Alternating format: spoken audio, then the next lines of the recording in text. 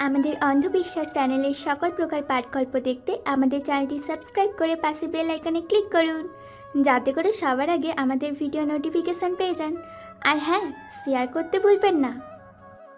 ভাই খাবারটা তো শেষ করো। আমার খাওয়া শেষ। মিষ্টি তোমার কি হলো? তুমি উঠলে কেন? মন আধারের দিকে তাকিয়ে বলল আমার পেট ভরে গেছে আলিয়া। আধার বাড়ি থেকে বেরিয়ে যায়।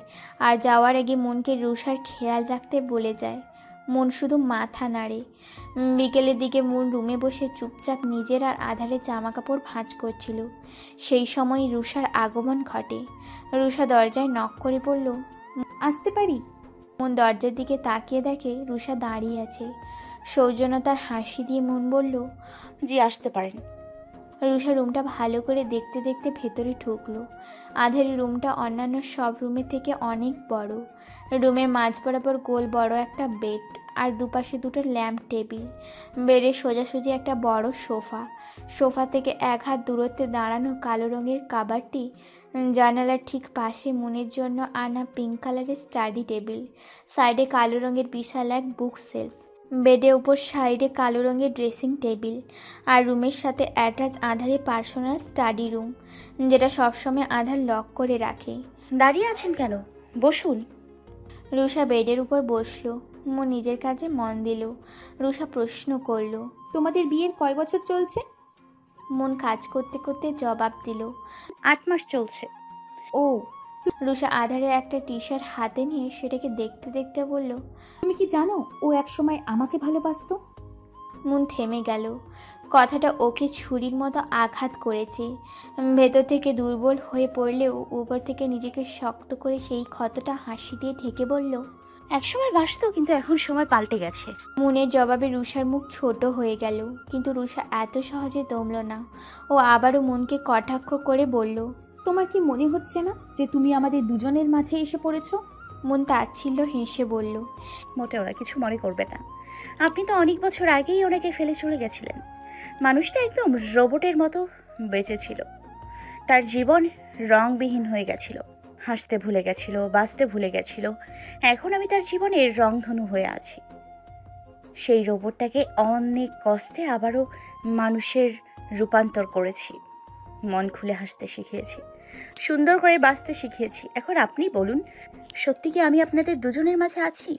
এরপর আর রুষা আর কিছু বলতে পারল না। এই কথার উপর আর কোনো কথাও খুঁজে পেল না। রুষা না পেরে রেগে উঠে চলে গেল। মন জোরে নিঃশ্বাস ফেলল।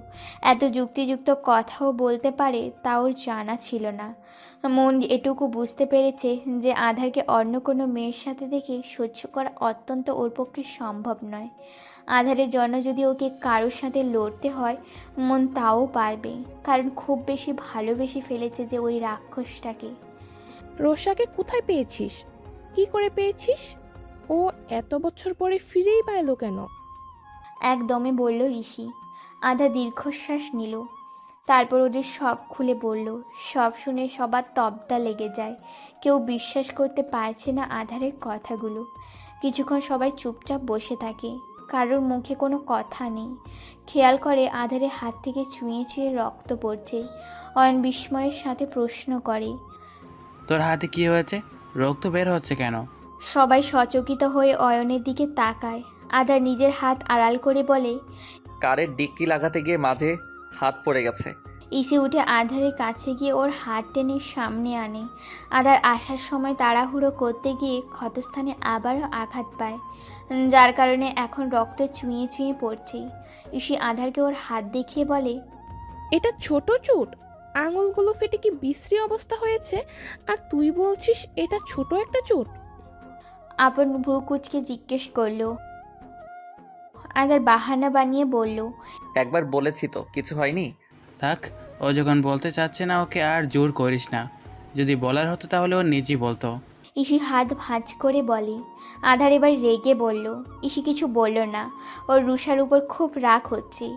মেয়েটাকে কালবৈশাখী ঝড়ের মতো যখনই আধারের জীবনে আসে, তখনই সব উলট পালট করে দিয়ে চলে যায়। সন্ধ্যার দিকে আজানের পর আধার আরিফা রেজওয়ানকে ফোন করে। আরিফা রেজওয়ান তখন যা নামে যে বসে নামাজ পড়ছিলেন। ফোনে রিংটন বাজতে বাজতে কেটে যায়। আবারও রিংটন বেজে ওঠে। আবারও কিছুক্ষণ পর কেটে যায়। এভাবে ফোন বাজতে থাকে আবারও কেটে যেতে থাকে। আরিফা রেজওয়ান কোনো মতে সালাম ফিরিয়ে কলটা রিসিভ করে। এভাবে এক নাগারে কল দেওয়া দেখেই সে বুঝতে পেরেছে যে এ একমাত্র গুণধর ছেলেই ফোন দিয়েছে। আরিফা রেজওয়ান সালাম দিয়ে কথা শুরু করল। আসসালামু আলাইকুম বেটা কোথায় আছো?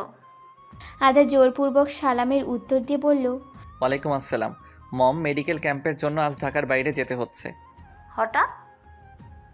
হঠাৎ করেই সব ঠিক হয়েছে। আমরা আজ সকালে জানতে পারি ঢাকার বাইরে ছোট্ট একটা গ্রামে হঠাৎ করেই সবাই অসুস্থ হয়ে পড়ছে। তাই আমরা আজকে সেখানে যাওয়ার সিদ্ধান্ত নেই। সকাল থেকে কাজে ব্যস্ত ছিলাম তাই আগে জানাতে পারিনি। কতদিন লাগবে আসতে? এক সপ্তাহের মধ্যেই চলে আসব। ঠিক আছে সাবধানে যেও। মম। বলো। সবার খেয়াল রেখো। আরিফা রেজওয়ান শব্দহীন হাসলো। তার পাগল ছেলে সবার বলতে উম, যে কাকে বুঝিয়েছে সেটা সে ভালো করেই বুঝতে পেরেছে। আরিফা রেজওয়ান বললেন রাখব। ঠিক আছে রাখছি। হ্যাঁ হুম। আদার ফোন কেটে দিল। আরিফা রেজওয়ান ফোন রেখে মোনাজাত ধরে বললেন হে আল্লাহ আপনি ওদের দুজনকে সুখে রাখুন।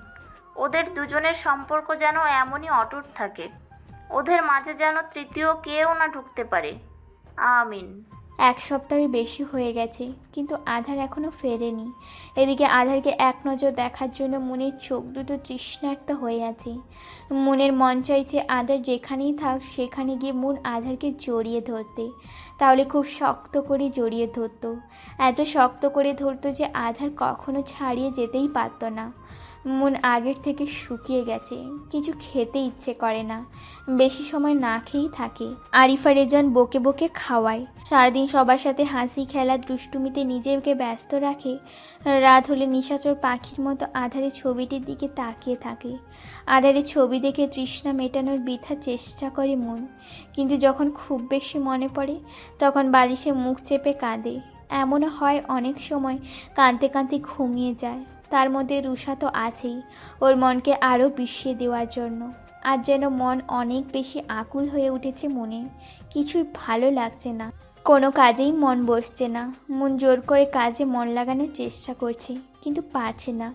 মন ব্যালকনিতে গিয়ে ইজি চেয়ারে বসে চোখ বন্ধ করে আধারে মুখটা মনে করার চেষ্টা করে। হঠাৎ মন খুব পরিচিত একটা সুঘ্রাণ পায়। এই ঘ্রাণটা আধার ওর চারপাশে থাকলেই পায়। মনেরা বুঝতে দেরি হয় না। মন উঠে দৌড়ে রুমে যায়।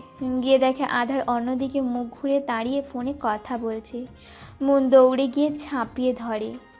আধার পড়ে যেতে নেয়, পরক্ষণে নিজেকে সামলে নেয়। কিন্তু আধারের হাতের ফোনটা জীবন এই পর্যন্তই ছিল মনে হয়।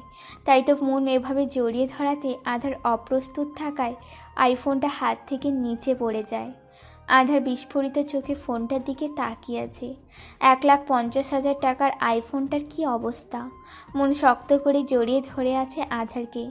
যেন ছাড়লেই কোথাও পালিয়ে যাবে। শব্দহীন অশ্রু ঝরছে চোখ দুটি থেকে। আধার রেগে মনকে ছাড়িয়ে জোরে ধাক্কা দিল। মন ডাল সামলাতে না পেরে সোফার সাথে বাড়ি খায়। মন কিছুই বুঝে উঠতে পারে না। শুধু অশ্রুসিক্ত নয়নে আধারের দিকে তাকিয়ে থাকে। ইউ ইডিয়েট, কোনো কমন সেন্স নেই তোমার? এভাবে হুট করে কেউ জড়িয়ে ধরে? দেখো তোমার জন্য আমার এত দামি ফোনটার কি অবস্থা হয়েছে। কোনো কাজ তো নেই, তোমার সারাদিন ঘোরাঘুরি লাফালাফি ছাড়া। বলেছিলাম শুধু ঠিকমতো পড়াশোনা করতে। তাও তোমার দ্বারা হয় না। যত সব। কথাগুলো বলে আধার নিজের স্টাডি রুমের লক খুলে সেখানে গিয়ে দরজা লক করে দিল। মন কথাগুলো শুনে নিচে বসেই সোফায় মুখ গুজে কাঁদতে লাগল। আধারের তিক্ত কথাগুলো শুনে খুব বেশি কষ্ট হচ্ছে ওর। এদিকে আধার ভাঙা ফোনটার দিকে তাকিয়ে তারপর রেগে এক আছাড় দিল। সাথে সাথে ফোনটা কয়েকটা টুকরো হয়ে ছড়িয়ে ছিটিয়ে পড়ল।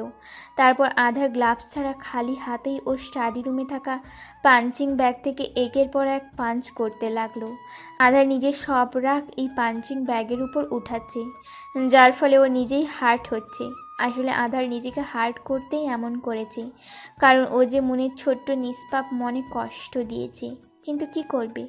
ও নিজেও যে নিরুপায়। এক রাত কাছে এসে এখন শত শত রাত দূরে থাকতে হচ্ছে। ওর নিজের চোখ দুটো যে মনকে দেখার তৃষ্ণায় জলশূন্য হয়ে উঠেছিল। সে কথা কি করে বুঝাবে মনকে? মনকে এখন নিজে থেকে দূরে রাখতে হবে, ওকে সেফ রাখতে হবে। আরে, কোথায় যান? একটা লাইক তো দিয়ে যান। আপনাদের একটা লাইক আমাদের ভিডিও বানাতে উৎসাহিত করে। প্লিজ সবাই লাইক কমেন্ট করে জানাবেন গল্পটি কেমন লেগেছে। ধন্যবাদ।